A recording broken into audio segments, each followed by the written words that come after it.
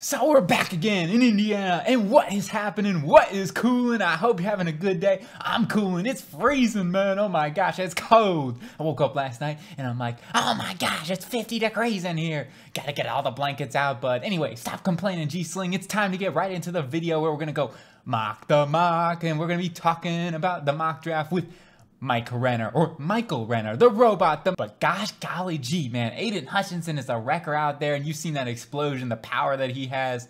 It's unbelievable, man. Aidan Hutchinson is twitched up and he is ready to go, and he is the number one overall pick here for the Detroit Lions.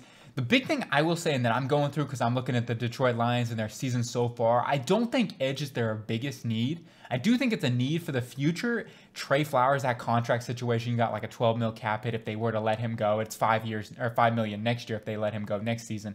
Um, nonetheless, Aidan Hutchinson he is probably him and Kayvon Thibodeaux are the best players available. It's like, Detroit, do you just take the best player available? Do you consider trading down? Do you just take a quarterback at number one overall? I know people say, well, there's no quarterback prospects worth the number one overall pick.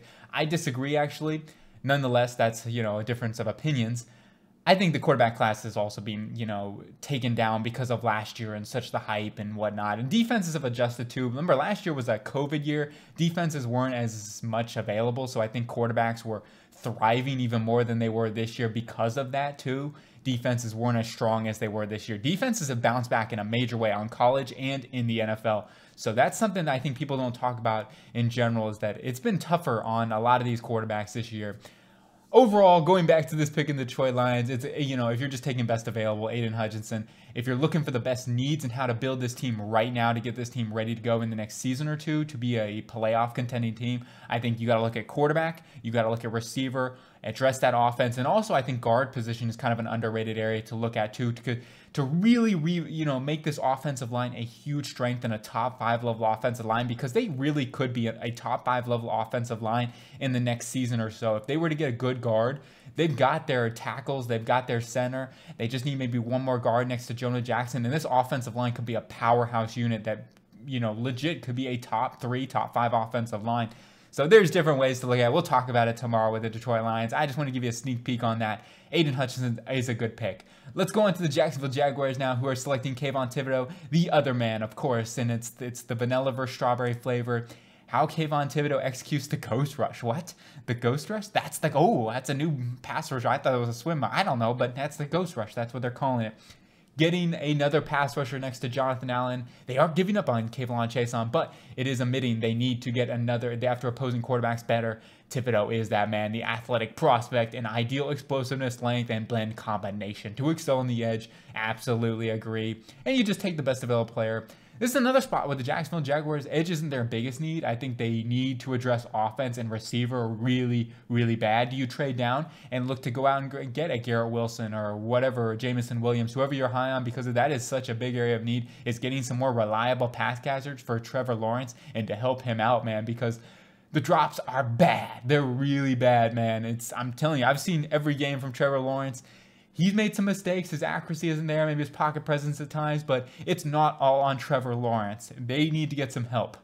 on to the Houston Texans, and it's the golden ticket. Kenny Pickett, the quarterback out of Pittsburgh, is off the board. the fake slide. Yeah, we got to look at that fake slide, man. It's oh, that was such a great. It, yeah, it's gonna be talked about now from here and until the draft, of course. And you see him a little and then bam, and he's gone into the end zone there. anyway, Kenny Pickett, I think, is definitely worked his way into this conversation. Still early for me. I, if I was Houston, I would not take a quarterback, and this is why. You look at their roster, and you always talk about this as putting your quarterback in a good enough situation where they can show you that they can be the franchise and they can show you enough. And Houston, do they have the talent surrounding Kenny Pickett to be able to really show that unless Kenny Pickett is the next coming of I don't know. Like it's just I think it's gonna be very hard for Kenny Pickett to be able to come into this offense and really thrive. And you've seen Deshaun Watson even with this team only being able to win four you know games and whatnot. I just don't think it's ideal for uh, the Houston Texans to go after a quarterback. Trade down, and trade Deshaun Watson, get as much draft. Call the Giants because they've got two top 10 picks. You can trade with them, go get their two first rounders have three first rounders in, in the first top 10 picks and help rebuild your roster. Take a quarterback next year. This is a team that needs to rebuild. I don't think they're in as good of a situation as a team like Detroit to take a quarterback. So I'd actually flip the picks, you know, something like that. I don't know. That's kind of my opinion on it. On to New York Jets, and we're going big Evan Neal, where I'm rocking with this one. I have no problem with this one at all. Jets go back into the trenches. Morgan Moses, I like him a lot. Whether or not he's back, that's something we'll have to kind of wait and see with the offseason, you know, with all that murmur and things like that. But Evan Neal, you can't go wrong solidifying that offensive line. I think George Fant's really good too but he can be a great swing tackle as you've seen Mekhi Becton get injured and injured over and over, unfortunately, so far. Evan Neal can swing to left and right. You roll from there. New York Jets back on the clock. We see a plethora of picks here. Derek Stingley Jr. is going to be the pick here for the Jets via the Seattle pick. Don't have this is what I made in my mock draft. He's copying me. Come on, Mike Renner. He's the I don't know. Maybe he had this out before me. I don't know because I did my mock draft yesterday. Ah, we'll see how it goes, but it is what it is. Derek Stingley Jr. though, the corner at LSU, and I'm super pumped about this one. He's my favorite player in the draft for the Jets. I am I really want them to get Derek Stingley. I believe he's a true number one corner. I've said it too many times. The Giants going with George Karlaftis, Big George, going to the New York Giants here with their first pick from Chicago. This is one of those where go ahead and improve that edge rusher. He's a good complimentary dude as well to Azeez Ojulari. It makes a lot of sense. And Lawrence Taylor get and say, hey, we got to get back to some vibes. Some where's the you know where's the fierceness and the fear coming from the Giants? There is no fear right now. They need that pass rushing duo back get it with Big George. I have no problem with this pickup. Uh, you know, need more pass rush help, I think, is a big area. Now the Giants on the clock as well, going Charles Cross, an interesting one. Mike Renner must be very high on Charles Cross, which I, I do like Charles Cross a ton. He got him as a top 10 picks, number seven overall. Definitely, definitely an interesting one. He had a great game versus Alabama team, and uh, yeah, absolutely, you see him here uh, going up against a great pass rusher. You know, we know Will Anderson in this Alabama company this time going up against 47 there. I mean, he look, Charles Cross is really, really good. He's a very, very good player. And I think that as the combine goes around and they see his testing numbers, he could definitely rise up. The big question is do you move Andrew Thomas to right tackle? Do you move Charles Cross over to right tackle? That's going to be a good question there. So uh, it is how you fit. Someone's going to have to move over at some point, so you can kind of work that all out. But Charles Cross going to be the pick there. On to the Atlanta Falcons going Kyle Hamilton, and this is one I thought about yesterday as well. Kyle Hamilton. It's almost like look, they got the Kyle Pitts of last year, because dude, that's what Kyle Hamilton is. He's like that rare, unique prospect, that unicorn that Kyle Pitts was. So it, it's like they're going with back to back unicorns this year. And, you know, Kyle Hamilton, what he can do onto defense with his size and his speed combination that he has is just, oh my God. Dude, you cannot, dude there are not many people that can do that. That is Earl Thomas level of range. That is unbelievable. Atlanta do need more help in this secondary. Jaylinn Hawkins has been a good rotational piece, and I think he can continue to be a good rotational piece. Richie Grant's been playing a lot in the slot this year. Maybe he does move up top next season. We'll have to wait and see how that rolls out. But Kyle Hamilton, he's not going to take away from that role by any means. On to the Carolina Panthers now, going with Matt Corral, the quarterback here. And Matt Corral, of course, has had a monster season, and he's starting to look healthy again here. We'll see how he does in the bowl game. But Matt, if he plays in the bowl game, I don't know. I haven't looked at the news and see if he's going to be playing. But Matt Corral has been very good. Carolina Panthers need a quarterback. Still disappointed they let Joe Brady go. That came out of nowhere, man. But obviously he's going to be looking for a job somewhere else.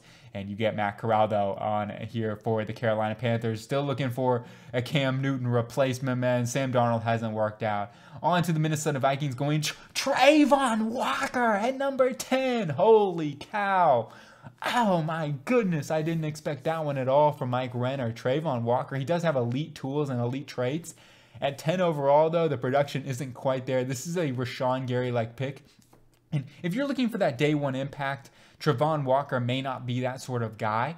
Now, if you're looking for the future, like a Rashan Gary sort of, you know, has excelled, and I think Travon Walker will get there and be an elite level player at some point. It's just a matter of do you have the patience to wait? And the Minnesota Vikings maybe do have that ability to sit here and wait. It just kind of depends. At 10 overall, it is interesting though. Six foot five, 275 pounds, and getting this physical edge rusher off the edge.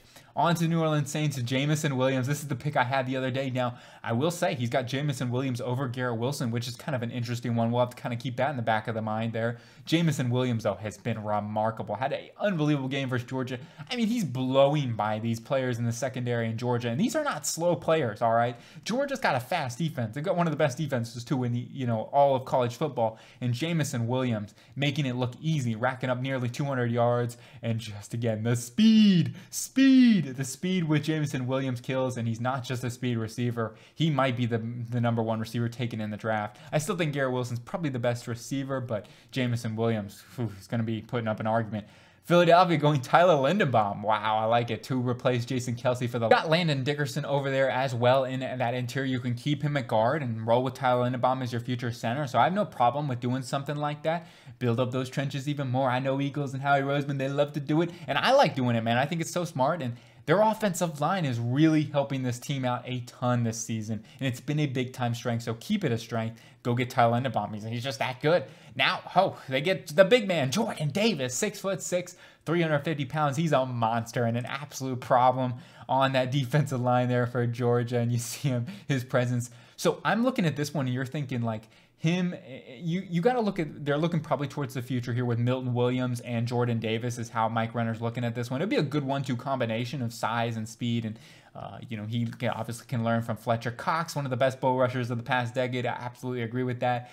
Don't know if it's their biggest area need on this roster, but it is something that they could be looking at. And you know, you can get someone here at 13 overall is a little rich for Jordan Davis. I don't know. He definitely has a big presence on the football field. I'm kind of indecisive on whether or not Jordan Davis to take him at 13 overall. It's one of those things, but hey, never bad to beef up the trenches there and really solidify that group. They probably need to look at the edge position with the next pick. On to the Denver Broncos pick here at 14. They're going with Devin Lloyd. Wow.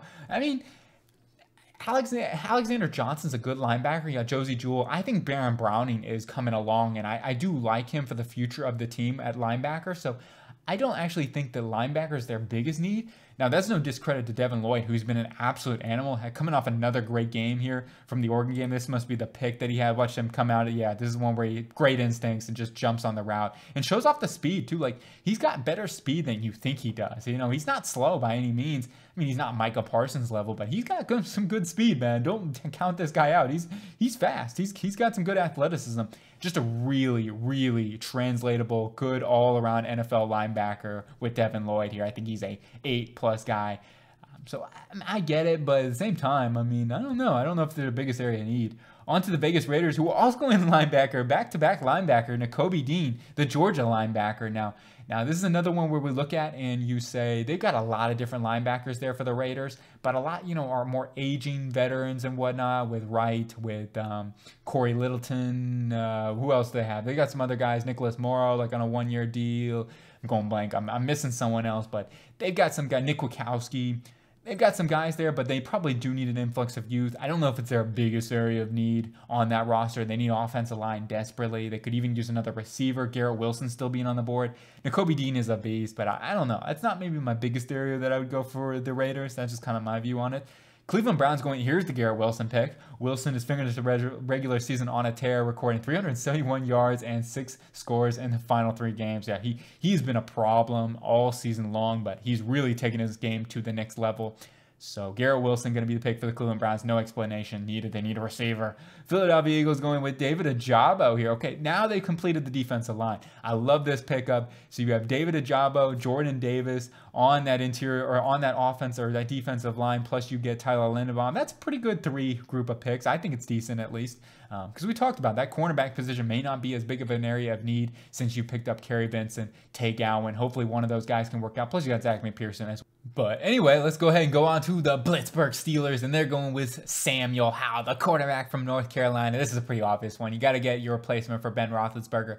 Probably his last season, at least by the looks of it and by the hearings of it. Get Sam Howell at this point. I mean, he's worth a selection at 18 overall. I know he's not had the greatest season, but I still think he is an elite level prospect to take, especially in this mid tier range. He's got that deep ball for days. If he gets selected, go and draft Chase Play Claypool in your fantasy leagues. I think he'd tear it up. I think he'd be an instant connection right there. I think it'd be a really great connection to watch for the next four or five seasons. Sam Howell, the quarterback out of UNC. Miami Dolphins going Treylon Burks. Wow, receiver out of Arkansas. Now, I don't think it's their biggest area need for Miami. And I've seen this more and more, like Miami people taking receiver for them.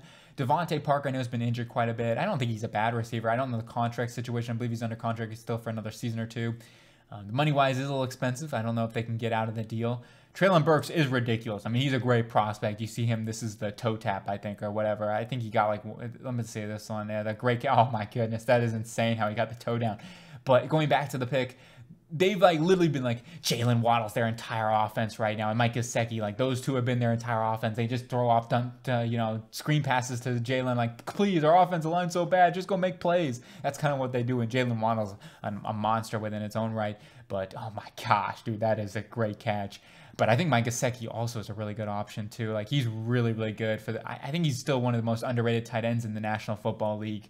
He's so good, man. He really is. He's really, really good. And I think you kind of, you know, have an underrated weapon there. So him and Jaylen Waddle. I don't know if this is a necessary pick. I think Ike Ekwonu is still on the board. You got to, you know, maybe look at offensive line some more, and definitely gonna have to address it in free agency too. But that's kind of my view on the Miami Dolphins. And speaking of Ikem Ekwonu, here he is, Washington football team going with their franchise left tackle for the future, Charles Leno on a one-year deal. Same thing with Cornelius Lucas. I do think they'll bring back at least one of the guys, and you can always look at some things in free agency. You got Saahdiq Charles. I think he's probably gonna play guard and probably take over for um, uh, what's his name, Brandon Scherff potentially at least. We'll have to wait and see how that all rolls out. You got Samuel Cosmi, of course, at that right tackle position secured for the future. Ike Ekwonu, I don't hate it. They need quarterback probably, whether or not you're on the side of Taylor Heinicke or whatnot. But Ike Ekwonu is a good pick. I mean, heck, at 20 overall, I mean that's that's a steal of a pick.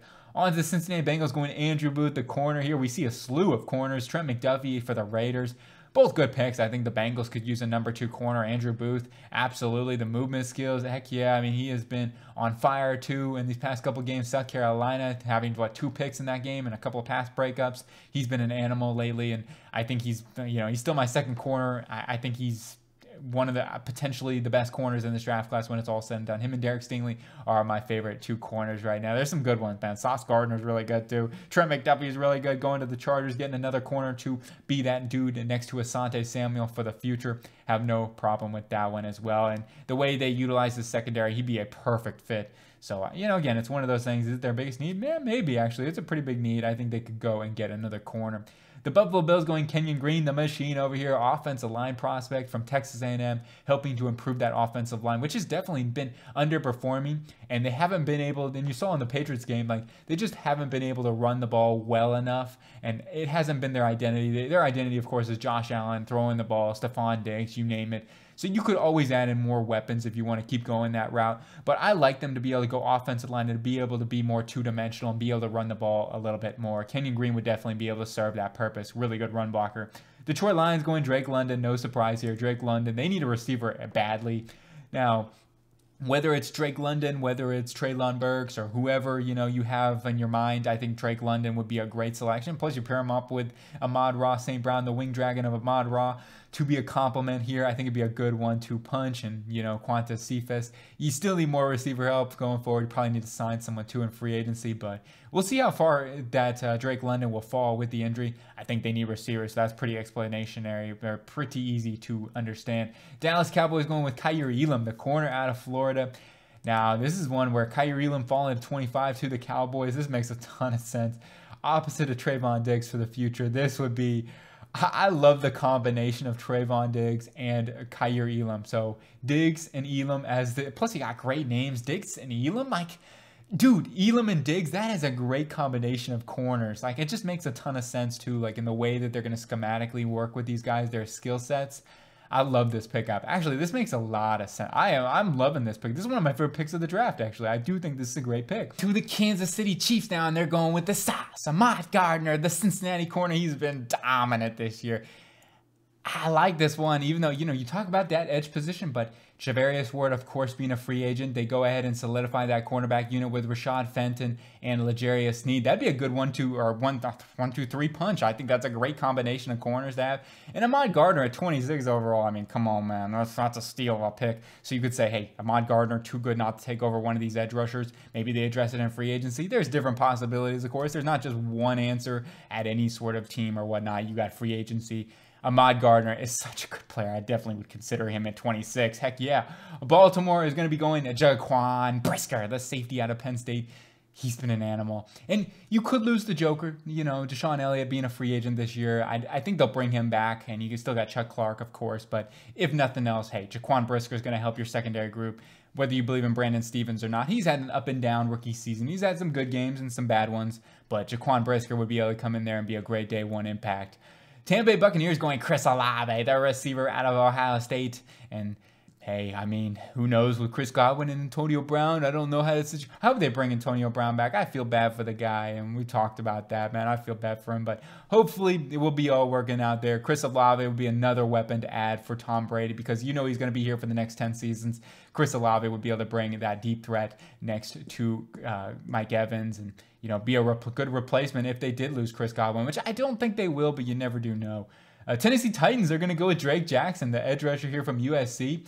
And they've been trying to address it, man. Bud Dupree just hasn't really worked out and lived up to the contract, at least not yet. And Harold Landry is also a free agent, too. So, I mean, looking at the edge position is kind of the obvious selection here for the Titans. They desperately needed. They also could use some interior help in general. DeMarvin Leal's still available, too. So, I mean, you could look at DeMarvin Leal at this spot, would be a really good option. I think actually that might be the area to go. Even though Drake Jackson might fit them a little bit. I don't know. You could move Leal in and out. It's a tough one. It's kind of He's what I think Leal's a better prospect long term, but Drake Jackson does have a ton of upside too. Green Bay Packers going Bernhard Raimann. I love it. I love it. I love it. Bernhard Raimann's one of my favorite players in this draft class. I think he's still being super underrated. Bernhard Raimann over to right tackle. Now, Elgton Jenkins can play anywhere, man. He can play at center. He could play at left guard, right guard, right tackle, you know, left tackle, tight end, receiver. Who knows? Okay. Hopefully he comes back healthy and ready to go. But you get some more offensive line depth. They've been kind of decimal with injuries over the past couple of seasons on that offensive line. Bernhard Raimann. He's so athletic and he's his movement skills are so good in his hand placement. Just gotta maybe put a little more strength on, which I think he'll do when, you know, they get into the NFL and they give him those big protein shakes and all that jazz, right? They give him the the big peanut butter jelly sandwiches, as Voch Lombardi would always say. I love that. New England Patriots going Roger McCreary. This makes a ton of sense. Press man pedigree, absolutely. He would fit right into this New England uh, defense. And that's another thing. Like, get another corner next to J.C. Jackson. You got Jonathan Jones in the slot. I think that's a really good combination. I do think they'll bring back J.C. Jackson, but you never know. Roger McCreary fit right in though. They need some more secondary help, and Roger McCreary has been absolutely insane for Auburn fits the bill for Bill Belichick and this defense. Arizona, here's DeMarvin Leal. I was wondering where he was to go. I'm like, where is DeMarvin Leal? This dude's been dropping and dropping, slipping and slipping and sliding. Finally off the board to the Arizona Cardinals, who luck into a great pick, in my opinion.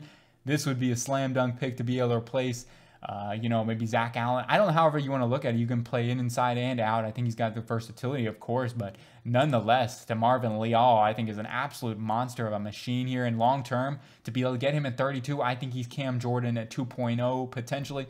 Lose a little bit of weight, maybe get down to 275. Do what Aidan Hutchinson did, you know, slim down your body, get a little more twitchy, a little more athletic, and he's going to be an animal off the edge. His speed to power combination and athleticism is going to be a problem for NFL opposing tackles to be able to have to deal with. That's going to be the draft though for Mike Renner in his uh, his first round mock draft that he's just updated and uh, whatnot. So I think it's pretty good, man. I love the Kaiir Elam pick to the Dallas Cowboys. I think the Diggs Elam combination would be really good.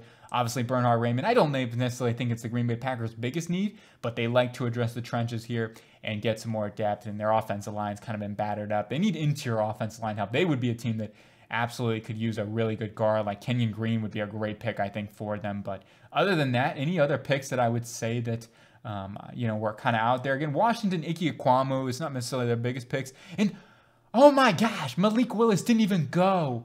Wow. So Mike Renner must be really low on Malik Willis. So we've got totally different wavelengths there. I'm a lot higher on Malik Willis. I think he's still the best quarterback in this draft class.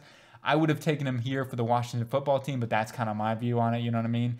Ike Ekwonu, though, is a really good prospect. I just would have taken the chance on Malik Willis at 20 overall. Heck yeah, man. I'd take him at number one overall. uh, Sam Howell for the Steelers, that's a good one, man. Other than David Ojabo, I like that pick a lot. Garrett Wilson, of course, makes a ton of sense. I wasn't a huge fan of the Denver Broncos pick with Devin Lloyd. Same thing with the Raiders. I mean, I don't know. I, they're not the biggest needs for the team. I could see the Eagles looking at linebacker more, even though, I mean, they I don't know if Howie Roseman is that guy. He doesn't like draft the linebackers in the first two rounds ever. But that is really it. Matt, Matt Corral goes to Carolina. And yeah, that's going to be Mike Renner's mock draft here, his updated one that he just came out with on the 6th, which was yesterday.